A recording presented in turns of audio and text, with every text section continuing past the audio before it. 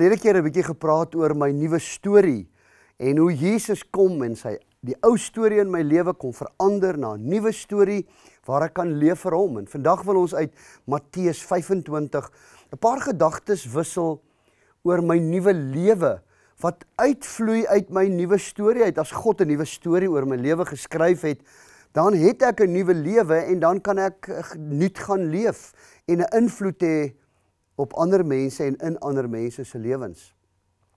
Ek weet nie in die omgewing waar jy leef as jy geestelik praat in hierdie tyd, waar wat is die onderwerpe wat mense meestal oor praat geestelik? My persepsie is baie mense praat in die laaste tyd oor die eindtyd. Wat gebeur in die eindtyd? Wat se tekens is daar van die eindtyd?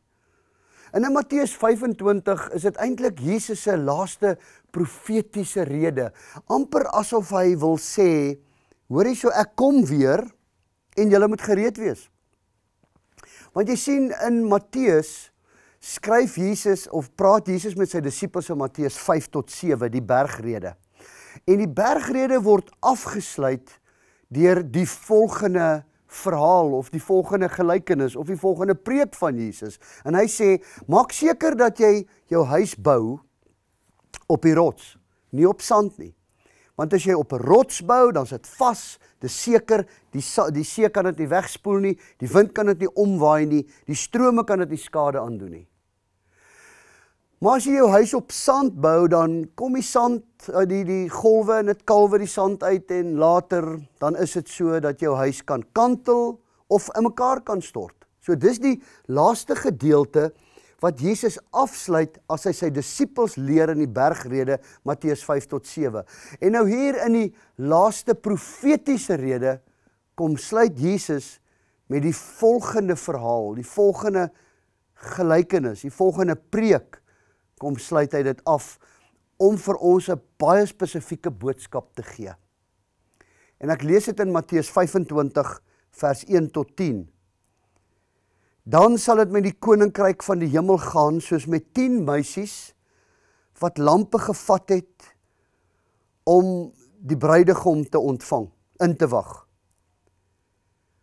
Vyf van hulle was onverstandig en vyf verstandig. Die onverstandiges het lampe gevat, maar nie ekstra olie met hulle saamgeneem nie. Terwyl die verstandiges saam met hulle lampe ook nog olie in houers saamgeneem het. Toe die bruidegom lank wegbly, het hulle almal vaak geword en aan die slaap geraak. In die middel van die nag was daar 'n geroep: "Hier kom die bruidegom. Gaan hom tegemoet." Toe staan al die meisies op en maak hulle lampe reg. Die onverstandige sê toe vir die verstandiges: "Gee vir ons van julle olie, want ons lampe gaan dood." Maar die verstandiges antwoord: "Nee, daar is nie genoeg vir ons en vir julle nie. Gaan liewer winkel toe en koop vir julle olie." Terwyl die onverstandiges olie gaan koop, het die bruidegom gekom. Die wat gereed was, het saam met hom ingegaan na die bruilof toe en die deur is gesluit. Later kom die ander meisies ook en daaraan en roep: "Meneer, meneer, maak vir ons oop." Maar die bruidegom antwoord: "Ek sê vir julle, ek ken julle nie. Waak dan omdat julle nie weet op watter dag en uur dit sal gebeur nie." Eeg, hier is eintlik 'n ek wil amper sê 'n uitdagende teks. Want alhoewel hier baie elemente is wat aangespreek word, kan mens nie noodwendig aan elke element 'n geestelike betekenis gee nie. Maar wat Jesus wil kom sê is 'n paar dinge. Hy wil kom sê daar gaan 'n einde wees. Hy wil kom sê ek kom weer. Hy wil kom sê dit gaan skielik en onverwags wees. Hy wil kom sê dat ons gereed sal wees wanneer hy kom. En hy wil kom sê, hy wil ons nie sien buite die deur nie, maar hy wil almal van ons wil hy binne die deur hê. Daarom het hierdie teksgedeelte ook 'n waarskuwing in. Was lekker om 'n uitdagende teks te ondersoek. En ek wil hê ons moet in hierdie teks terwyl jy jou Bybel of jou selfoon voor jou oop het na vier elemente kyk. Ons kyk na die vier elemente. Die eerste element is uit die aard van die saak die troue. Die tweede element is die bruidsmeisies. Die derde element is die bruidegom. En die vierde element is die waarskuwing. So die troue. Die troue. Wanneer laas was jy op 'n troue? Hoe het jy dit beleef? Laat dit bietjie deur jou kop gaan. Watse waarde het jy daaruit gekry? Almal van ons hou van troues. Mense is mal daaroor om troues toe te gaan en om saam met hierdie bruidspaar wat in die teenwoordigheid van God aan mekaar gevoeg word om saam met hulle te gaan feesvier en saam met hulle te gaan bly wees. En natuurlik hierdie gelykenis sê iets van dit was waarskynlik in 'n klein dorpie op die platteland in Palestina. So gewoonlik op 'n troue in 'n klein dorpie op die platteland, veral in daardie tyd, was omtrent die hele dorpie daarbey betrokke. So almal was opgewonde oor hierdie paartjie wat trou, want onthou almal het mekaar geken. So dit was 'n feestelike geleentheid vir die ouers, maar ook vir die ehm uh, vir die mense wat trou. En as die pa die keuse gemaak het saam met sy seun, dan was daar 'n paar dinge wat gebeur het. Daar was eers 'n troukontrak wat gesluit word. So die pa se die die die skoonpa, die dame, die vrou se ouers is genooi en uh, vir al die pa en dan is daar 'n kontrak geteken en dit is beseël met drink van rooi wyn wat heenwys na die bloed van Christus. En dan is daardie het daardie seun teruggegaan na sy huis toe en die dogter, die vrou het haar gaan self voorberei. So sy het waarskynlik haar rok gaan maak en sy het haar mooi gaan maak. Sy het uh, alles gedoen wat moontlik die beste is vir haar troue. En die bruidegom het so lank ehm uh, sy huis gaan aanbou sodat hy vir sy vrou kan sorg. Jy sien, 'n huwelik is het dieselfde betekenis as ons verhouding met God. Want jy sien Christus het ons ook gekies. God het ons gekies deur Christus. Christus het die kontrak vir ons kom sluit in sy bloed. En hy het weggegaan om vir ons te gaan plek voor te berei. En nou is ons hier, ons wag nou vir sy koms. Voordat hy ons ook kom haal sodat ons vir ewig en vir altyd by hom kan wees. Want na die troue op die platteland het omtrent 7 dae geduur, meeste van die tyd. Totdat na die onthaal het die seremoniemeester die hand van die bruidegom en die hand van die bruid gevat en dit in mekaar gesit En dan het die deure toegegaan en dan was hulle vir altyd by mekaar in 'n huwelik in 'n verbond. Wanneer Christus kom, dan sal hy ons hand, die bruid se hand, die bruidegom se hand in mekaar sit sodat ons vir ewig en vir altyd by hom kan wees. Ek kan nie wag vir daardie dag nie, vir daardie troue nie. Jy sien 'n mens werk. Ek weet nie wie van julle se kinders is al getroud nie. So jy jy vat lank. Party mense vat 'n jaar om 'n troue voor te berei. Nou ek en jy het 50, 60, 70 jaar om onsself voor te berei vir die troue van ons lewe wanneer Christus kom. Ai, ek wil jou aanmoedig. Maak jouself gereed vir die troue wanneer Jesus kom. So dis ons eerste element wat ons hierin optel. Die tweede element is uit die aard van die saak hierdie bruidsmeisies waarvan Matteus 25 vers 2 praat. En hierdie bruidsmeisies het almal 10 lampe gehad. Nou hoe daai lampe gelyk het, was waarskynlik 'n blikkie met 'n pit in, lap met 'n bietjie olie op 'n stok wat brand. Dit laat my dink aan toe Jesus gevange geneem is in Getsemane, het hulle met fakkels aangekom om lig te gee. So hierdie lampe was as die bruidegom in die aand sou kom om sy bruid te kom haal, dat hulle gereed sal wees om hierdie lampe aan te steek en dat daar lig is vir die mense wat op pad is na die troue toe. Want jy sien, dit was so, dit was 'n geheim vir die bruid wanneer die bruidegom kom. En interessant, ook in die eerste kerk het die bruidegom meeste van die tyd in die nag gekom, want dan was dit 'n 'n surprise vir die vrou. En wat dan gebeur het is sy bestmen het hulle het 'n so op 'n draagbaar haar gedra deur die strate as hulle haar gaan haal na die seremonie toe. En dan het die bruidsmeisies het dan met lampe geloop om lig aan te dui. En die hele die hele gemeente, die hele dorp het agter hulle in hierdie gevolg ingespan en so het hulle deur die strate geloop op pad na die seremonie toe. Dit was die taak van die bruidsmeisies. So die bruidsmeisies het eintlik erewag gestaan vir die bruid en die bruidegom. Sjoe.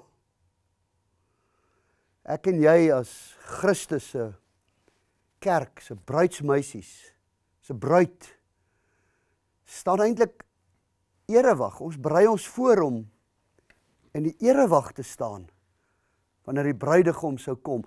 Is dit nie 'n voorreg nie?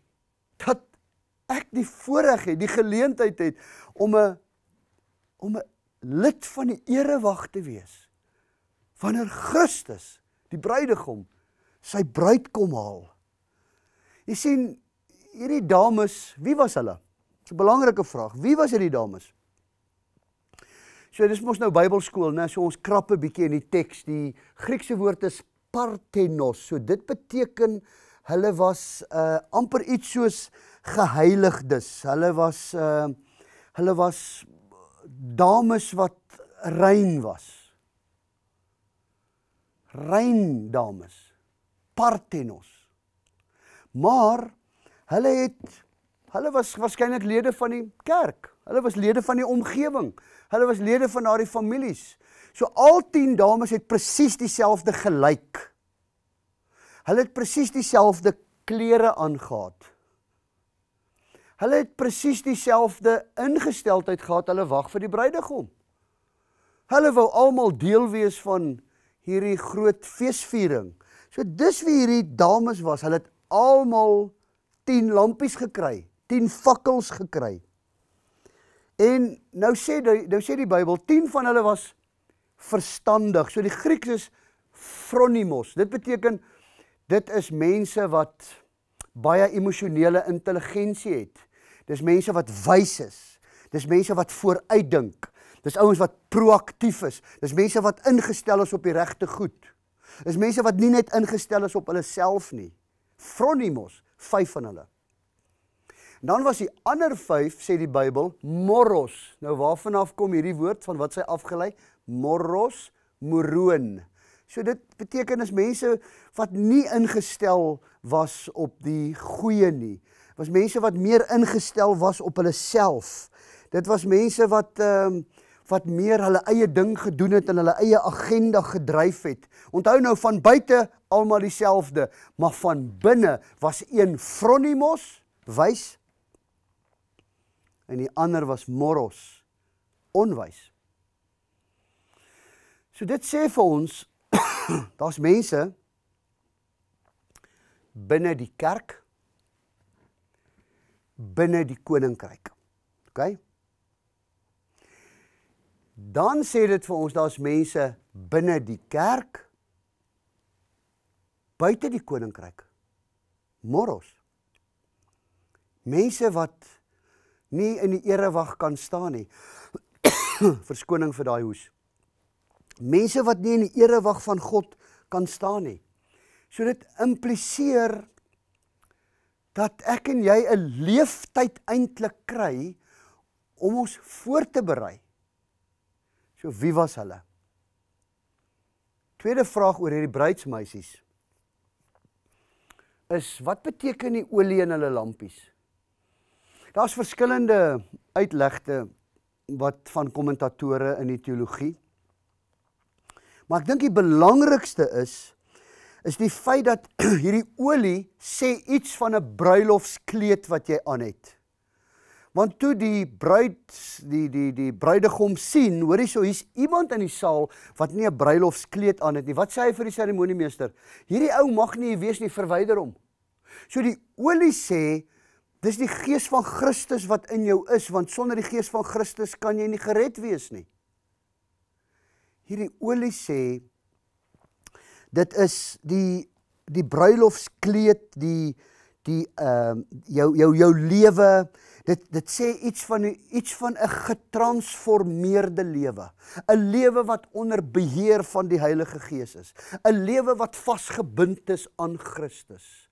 'n lewe wat doen wat God sê. Hoor julle dis die olie. Die olie sê my lewe is getransformeer en ek is gereed om in die ere ek is gereed om in die erewag te staan. Die moros se lewens was nie getransformeer nie.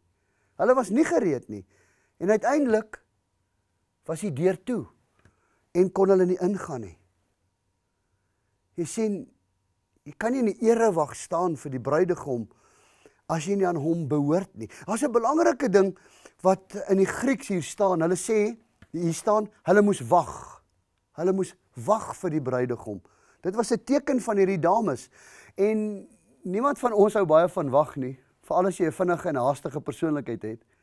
So dink 'n bietjie as jy moet wag in die poskantoor se ry of in die dokter se spreekkamer.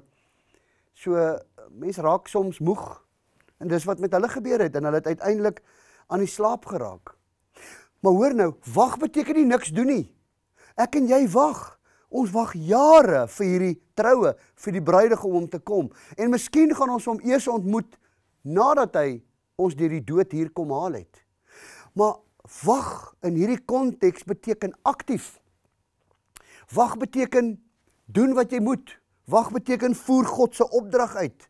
Wag beteken doen wat is op God se agenda. Sorg dat daar olie in jou lamp is. Sorg dat jou kleed reg is, dat hy voorberei is. Sorg dat elke pareltjie op jou trourok aangewerk is en elke knippie presies is waar dit moet wees, want jy het tyd om dit te doen. So wag in die wagproses. Moet ek en jy elke deeltjie van ons geestelike bestaan moet ons met die hulp van die Heilige Gees afwerk sodat ons voorbereid sal wees vir die dag as Christus kom. Jy sien, hoe het hierdie dames gewag? Hoe het hulle gewag? Drie gees wat jy saam met jou kan vat. Die eerste is hulle het geheilig gewag. Met ander woorde, hulle was afgesonder. Hulle was gereinig. Hulle was eenkant. Want onthou hier staan al 10 van hulle was maagde. So hulle was rein dames. Maagdelikheid sê iets van heiligheid, van skoon, van eenkant, van bewaar, van afsondering. So hoe het hulle gewag? Hulle het in afsondering gewag, weg van die wêreld af. Hulle het nie soos die wêreld gelyk nie. Hulle het nie soos die wêreld gedoen nie. Hulle het bewustelik het hulle gelewe soos wat God wil en wat hy van hulle gevra het. Hy hulle was hulle het gehoorsaam gewag. Hoe het hulle nog gewag? Hulle het gefokus gewag. Hulle was ingestel op daai deure wat moet oopgaan. Hulle het voor die deur gesit. Soos wat ek en jy al baie keer voor toe deure gesit en wag het voordat die blyspel of dit wat jy moet gaan kyk begin. Ek onthou ek en my seun het een keer voor 'n deur geslaap net om kaartjies te kry. Maar toe die deur oopgaan, ons was gefokus. Toe die deur oopgaan, toe is ons daar en toe en toe ons toe ons in en toe kry ons goeie sitplekke want ons het met 'n verwagting gewag. Ons het gefokus gewag. Wag jy gefokus op die dag as die deure van die troue van jou lewe oopgaan. So dit beteken as 'n mens gefokus wag, beteken dit tog dat 'n mens se aandag nie afgetrek moet word nie. Dis soos iemand wat 'n boks skiet, jy moet gefokus wees. En dis presies wat God van sy bruid verwag. Dis wat God van hierdie bruidsmeisies verwag het. So hulle het geheilig verwag eenkant, nie met die wêreld dit gedoen wat die wêreld gedoen het nie. Hulle het gefokus gewag en hulle het gewag met genoeg olie. So hulle het gewag met hierdie getransformeerde lewe. Hulle het um, hulle het nie staat gemaak op die ou reserves nie. Hulle het vars olie elke dag gehad. Hulle het vars uit die woord uit gelees. Hulle het vars van God se genade gebruik gemaak. Want God sê my genade is genoeg vir jou elke dag. Hulle het seker gemaak dat hulle lewens in lyn is met God. Hulle het seker gemaak dat hulle verhouding met God reg was. Daar was genoeg olie in hulle lampies. Hulle het nie self probeer produseer nie, maar hulle het vol geword van God af. Ek en jy moet ook nie self probeer om op ou brood te leef nie, op ou olie in ons lampies nie, maar ons moet daagliks gevul word met God se woord, met God se gees, met God se olie, met God se genade. Die derde element is die bruidegom. Die bruidegom het sjo skielik gekom. Onverwags. Hy het gekom toe al 10 geslaap het, maar toe hulle wakker word, was 5 van hulle wat 'n ander flesie olie gehad het. Hulle kon aangaan, hulle kon hulle lampies aan die brand steek. En die onverstandiges, die morros, hulle moes skarrel en hardloop en kyk en probeer olie soek wat hulle nie gekry het nie. Want jy sien die bruidegom kan op 'n tyd kom wat jy dit verseker nie verwag nie. Ek dink terug aan aan Israel in Eksodus 12 vers 29 waar die waar die engel in die nag gekom het, middernag om wat te doen? om bloed aan die deurkusyne na te kyk en die volk uit te lei. So kan Jesus onverwags kom op 'n dag en op 'n tyd wat ek en jy dit nie noodwendig verwag nie. Want jy sien, die redding kom van hom af. Die redding kom nie van 'n ander bruidegom af nie. Die redding kom nie vanuit 'n ander oord nie. Die redding kom nie uit tekens en wonders en dinge wat gebeur in die lewe. Natuurlik sê die Bybel, dit stekens van die eindtye. Maar dis die bruidegom wat jou kom haal. Dis die bruidegom wat sy handtekening in bloed op jou hart kom skryf het. Dis die bruidegom wat jou herenig met die bruid. So dit sê vir ons, sjoe, ons kan nie ons kan nie te laat slaap nie. Ons moet heeltyd wakker wees in afwagting dat die bruidegom ons kom haal. En ek vermoed daai bruidsmeisies het baie verskonings gehad. Ons het dit gedoen. Ons het dit gedoen. Plaas het ons dit. Moenie dit nie. Sê nou net ons het dit. Jy sien dan is daar nie meer tyd vir verskonings nie. Ons het 'n God wat kansse gee. Tweede, derde, vierde, vyfde kansse. Jy het baie kansse nou in jou lewe. Maar die oomblik as die deure oopgaan, dan is daar een kans om in te gaan en as dan dan toe is, dan is dit finaal toe. Want jy sien die vierde element van hierdie boodskap van Christus is Daar is 'n waarskuwing. Hoor wat sê hy in die heel laaste vers, hy sê: "Waak dan. Waak dan. Wees wakker. Omdat jy nie weet op watter dag en uur dit sal gebeur nie." So daai waak is 'n waarskuwing. Wees versigtig. Pas op. Want jy sien Christus sê deur hierdie hele verhaal, ek het vir jou nuwe lewe. Jy sien die krisis is 'n bietjie laat kan vir altyd te laat wees. En daarom is hierdie hierdie profetiese rede van Christus aan die einde. Dis nie 'n dis nie 'n kwaai boodskap nie, maar dis 'n ernstige boodskap om te sê daar is 'n waarskuwing. Wees versigtig hoe jy lewe. En wees elke dag op die plek. Want as die deur oopgaan, dan sal jy uit die aard van die saak kan ingaan. Want as jy in die bruilofsaal instap, dan het jy 'n nuwe lewe vir ewig en vir altyd. God het 'n nuwe storie uit jou ou storie kom skryf. Dit het vir jou 'n nuwe lewe gegee. Dit het jou lampie vol gemaak. En daarom Daarom is dit belangrik dat jy sal uitsien na hierdie koms van die koning. Dat jy sal uitsien na die troue. Dat jy seker sal maak jy is soos 'n bruidsmeisie wat 'n fronimos is, wat 'n wyse is. Wat getrans wie se lewe getransformeer is deur die Gees, wat vol is van die Heilige Gees, wie se lamp brand en skyn. Maar jy sal ook 'n bruidsmeisie wees wat wag. Rustig wag op die koms van die bruidegom, want jy weet nie wanneer dit gebeur nie. Terwyl ek en jy die waarskuwing uit God se woord ontvang, waak dan. Wees op julle hoede, want julle weet nie wanneer hy regtig weer terugkom nie. Wees gereed sodat jy saam met Christus in sy nuwe huis wat hy vir jou voorberei vir ewig vir altyd sal wees. Ons Vader, ons dankie dat U 'n God is van tweede kansse, van derde kansse, van baie kansse.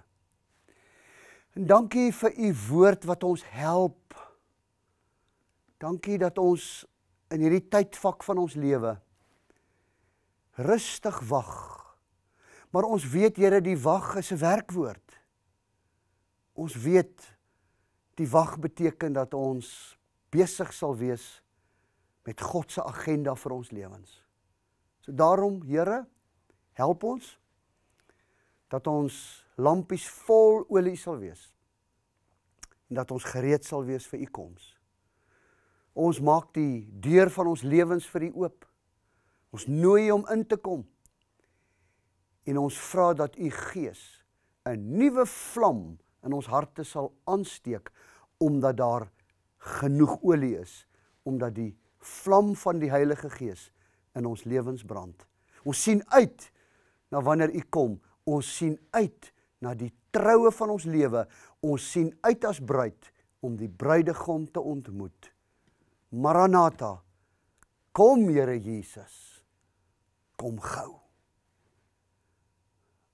Amen. sien jou aan die bruilofstafel. Thank you.